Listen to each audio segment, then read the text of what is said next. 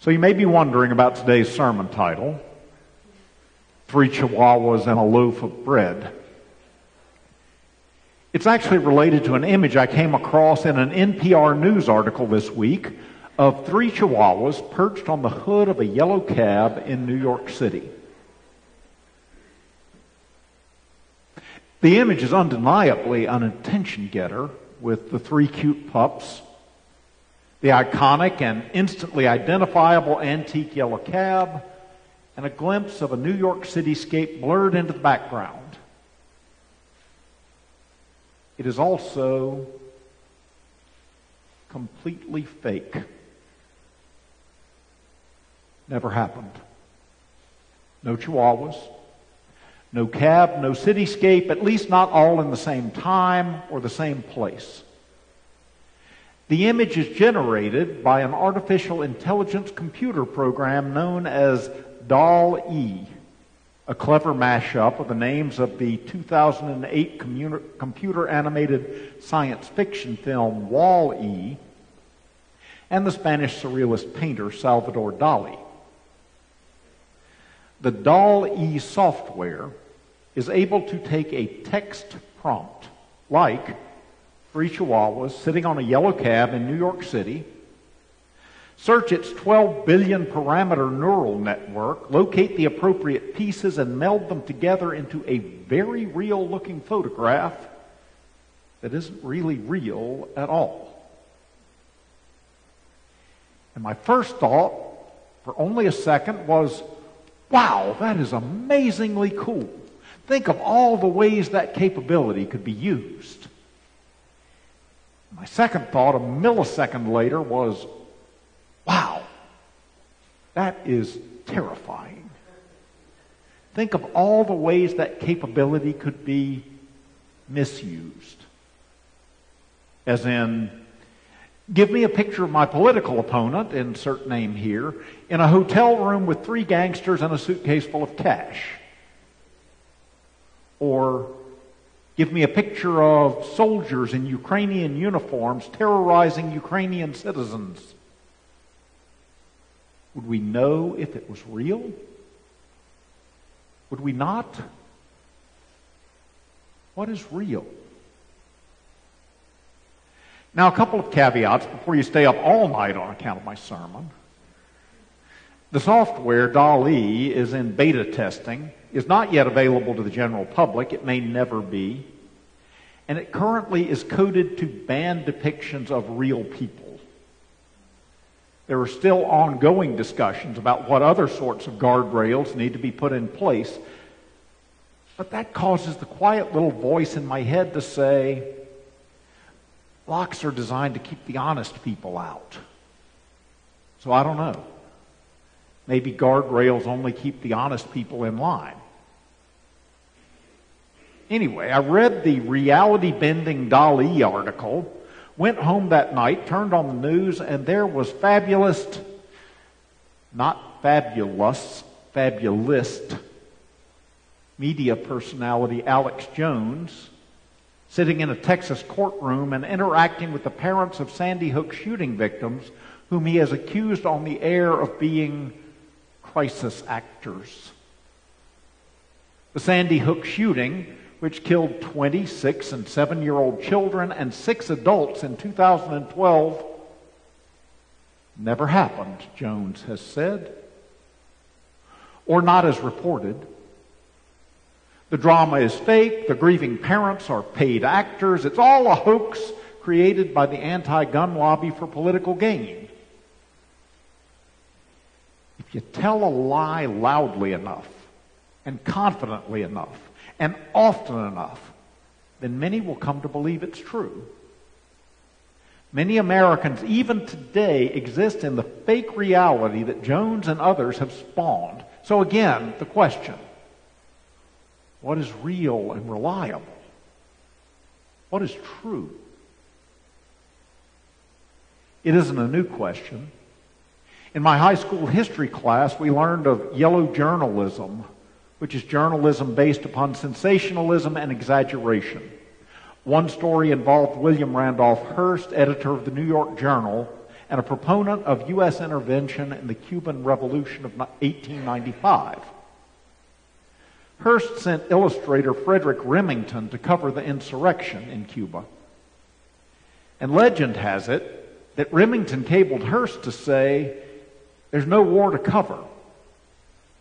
And Hearst allegedly replied, You furnish the pictures, I'll furnish the war. As Abraham Lincoln once said, don't believe everything you read, especially on the internet.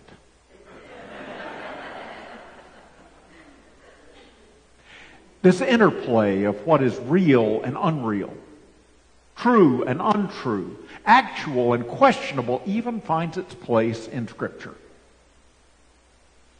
Think of the foundational story of the temptation of Adam and Eve in Genesis chapter 3. Now, the serpent was more crafty than any other wild animal that the Lord God had made. He said to the woman, Did God say, You shall not eat from any tree in the garden? The woman said to the serpent, we may eat of the fruit of the trees in the garden, but God said, You shall not eat of the fruit of the tree that is in the middle of the garden, nor shall you touch it, or you shall die. But the serpent said to the woman, You will not die. For God knows that when you eat of it, your eyes will be opened and you will be like God, knowing good and evil. So when the woman saw that the tree was good for food, and that it was a delight to the eyes, and that the tree was to be desired to make one wise, she took of its fruit and ate. And she also gave some to her husband who was with her, and he ate. That's not true. This is true. That's not real. This is real. Or think of the Gospel of Luke. In the third chapter, Jesus is baptized by John the Baptist, and the Holy Spirit descends like a dove, and a voice speaks from the heavens You are my beloved Son. With you I am well pleased. But in the very next chapter, Jesus is alone in the wilderness, and the voice of temptation and doubt comes to him. If you are the Son of God, turn this stone to bread. If you are the Son of God, the kingdoms of the world are yours for the taking. If you're the Son of God, throw yourself from the temple and God will protect you. If, if, if, chip, chip, chipping away at what Jesus knows to be true. Last example, and then I'll stop. 28th chapter of Matthew's Gospel, Easter morning, story of the resurrection. The angel says to the witnesses, He's not here. He's been raised. Go quickly and tell his disciples, follow him to Galilee. And now we take up with the 11th verse. While they were going that fast, some of the guard went into the city and told the chief priests everything that had happened. After the priests had assembled with the elders, they devised a plan to give a large sum of money to the soldiers, telling them, You must say, His disciples came by night and stole him away while we were asleep. If this comes to the governor's ears, we will satisfy him and keep you out of trouble. So they took the money and did as they were directed. And this story is still told among the Judeans to this day. Now, why all of this conversation about talking snakes and photo fakes, about false headlines and inaccurate reports, about distortions, misrepresentations, willful misunderstandings, allegations, fears, and falsehoods, and whispers of doubt? I simply want us to recognize that the world will at times, will oftentimes seek to distort our truth. This is true.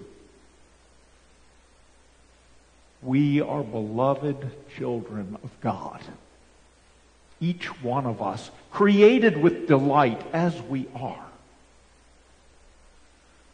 We are created in the very image of God. We are loved and we are lovable.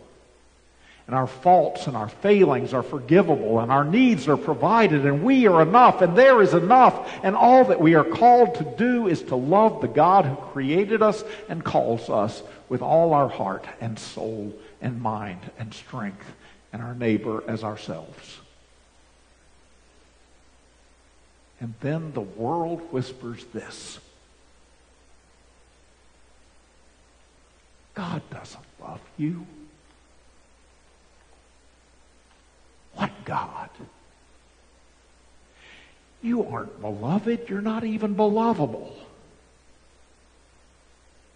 You're inadequate, deficient, not enough, never enough. Life isn't worth living. Your neighbor isn't worth loving. God helps those who help themselves, so help yourself. And then the world quotes Macbeth at us. Tomorrow and tomorrow and tomorrow creeps in this petty pace from day to day to the last syllable of recorded time. And all our yesterdays have lighted fools the way to dusty death. Out, out, brief candle. Life's but a walking shadow a poor player that struts and frets his hour upon the stage and then is heard no more.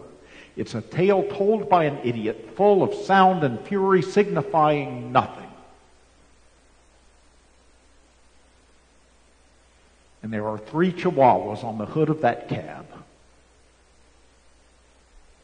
Can't you see them? They're right there. And we're left to wonder what is really real. And we're left to doubt what is really true. Who we are, what we're called to, why are we here, what does it mean? I think this meal is a simple gift that restores reality. In our scripture lessons for this morning, Jesus said, I am the bread. I am the way. I am the truth. I am the life. I'm real. I'm true. I'm nourishing and sustaining, right and righteous. And on the night that he was betrayed, Jesus sat at table with his disciples. And he took bread, representative of himself, and he broke it. He gave it to them. Gave it to all of them. The ones who argued among themselves who was the greatest. Doubting Thomas. Denying Peter. Betraying Judas. He gave it to all of them and he said to them, do this in remembrance of me. This bread is self giving love. Would I give myself to you in this way if you were unloved? If you were unworthy? If you were unforgivable? Would I give myself to you in this way if you didn't matter to God more than you could ever know? Would I give myself to you in this way if you were beyond help, beyond hope, beyond forgiveness, beyond restoration, transformation, or redemption? Would I give myself to you in this way? This is my body given for you. It's real. Remember, every time you touch, every time you taste, remember, remember me, remember you, remember real, remember true, remember. So if you've forgotten how loved you are, come to this table. If your self image has ever been falsely twisted into self loathing, come to this table. If anyone has ever caused you to doubt that you are enough just as you are, come to this table. If you're struggling, come to this table. If you're doing okay today, come to this table, receive bread for tomorrow. One of these images is a false reality, construct, a fiction. And one is more real than we could ever know. Take, eat, love, share, hope, receive, forgive, ingest, digest, be strengthened. Remember, beloved. Amen.